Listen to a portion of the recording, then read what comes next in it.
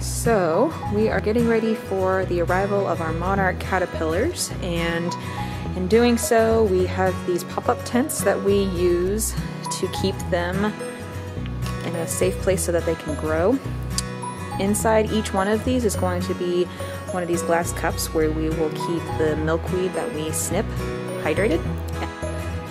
The caterpillars will spend at least two weeks in here eating the milkweed that we provide for them because that's the only plant that they will eat until they're old enough to survive the metamorphosis of going from a juvenile caterpillar into a pupa stage, which would be their chrysalis, and then finally emerging as an adult, which is the monarch butterfly.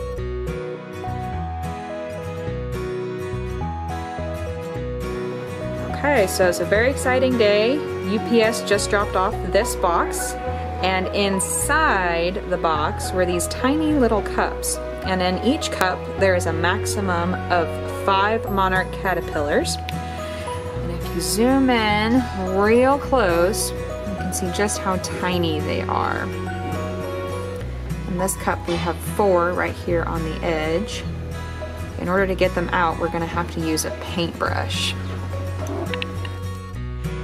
At this stage, they are far too tiny to pick up with our fingers, and even using the paintbrush is proving challenging. It's almost as if they have something sticky coming from them. The monarch caterpillars have the ability to produce silk on their feet and from their rear end, which help them crawl up and down plants and eventually hang upside down to form their chrysalis. With this caterpillar on a penny, you can see just how tiny these butterfly larvae are when they begin their lives. As soon as the caterpillars arrived, the real work begins. Here, Miss Lou is cutting fresh milkweed from our garden by the front door. For many years, Schlagle staff have been caring for a small crop of milkweed to support wild and captive monarchs. It's important to check your milkweed for wild monarch eggs or caterpillars before bringing it inside. We don't want to do more harm than good when raising monarchs. Clipping fresh milkweed is a chore. Just look at how much eight caterpillars decimated this leaf. All of this was done in only two days.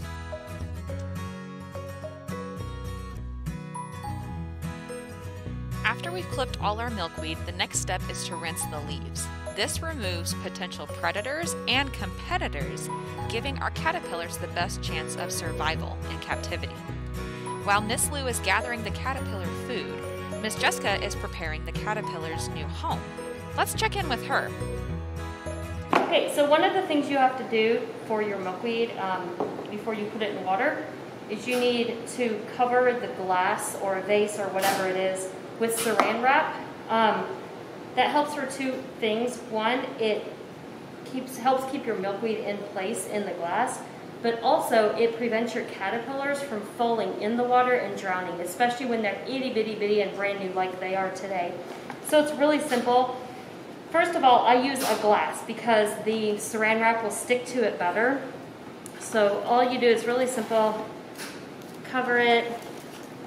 It doesn't matter what size you tear it. And then what I do is I pull it with my fingers and I stretch it out as tight as I can get it. The tighter it is, the better your milkweed will stay in place. And then pull it down, wrap it. And the best thing is to add a rubber band that keeps it in place. Now, all this excess saran wrap, you'll need to cut this off because the caterpillars can fall down into that and get stuck. So I just cut it as close as you can to where it's banded on the glass. And then the excess, just kind of squish it down and then you're ready to go. And right before I stick a stalk of milkweed in it, I take the scissors or something like a pen or pencil and just poke one little simple hole in the middle or for however many milkweed plants you're gonna need. One thing really quick I wanna point out before we start transferring our baby caterpillars, our little guys, over to our milkweed is something that's really important to know is Whatever milkweed you start them with to feed, you need to stick with that same type of milkweed. Here we've got uh, two types of milkweed that we grow out here. It's called common milkweed and also Sullivant's or prairie milkweed.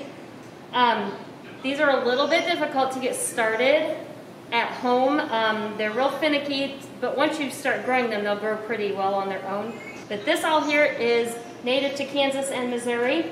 And like I said, whatever milkweed you start with them, with them, just stick to it because um, they will not switch over their food, like what they eat, if you try to give them something different.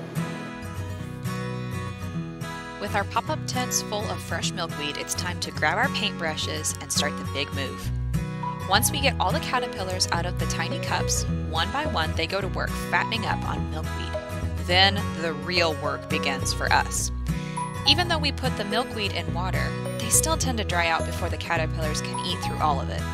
Plus, they're pooping everywhere, making a mess of their enclosure. So every two days, we have to go out to our milkweed patch, clip more plants, shake out the tents, refill the water, and find all those tiny caterpillars on the old milkweed and transfer them to the fresh plants. It's a lot of work. Monarchs are masters of disguise, hiding in the curled up edges of leaves or on the underside, and when they're tiny, they're even harder to find. Fortunately, they don't stay small for long, and eventually, with full stomachs, they start crawling to the top of the tent. They're ready to leave the larva stage and begin to pupate.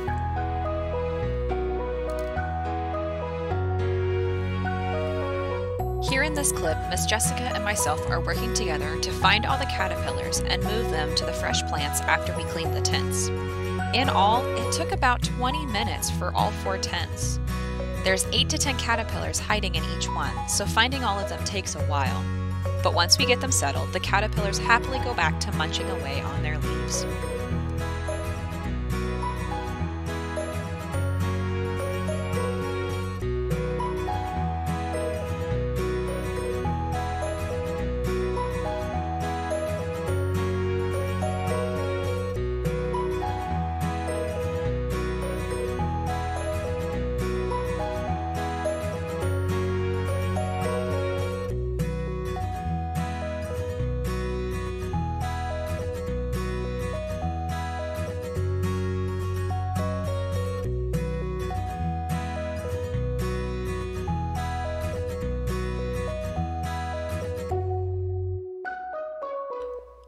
Our first chrysalis appeared on August 31st, just two weeks after we received our baby monarchs.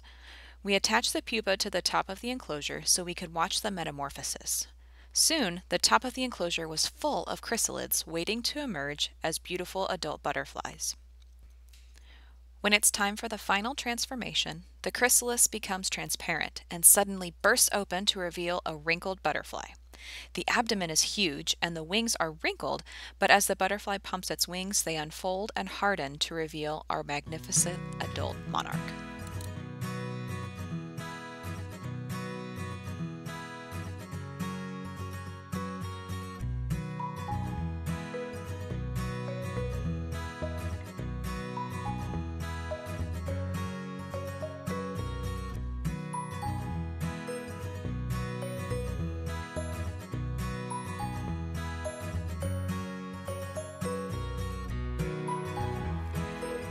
Raising monarchs is a whirlwind, but we are so fortunate to watch them grow and then send them on their migration to Mexico. We hope you enjoyed this video and we ask that you participate in helping the monarch population, whether it's raising them, tagging, growing milkweed, or just learning more about the species.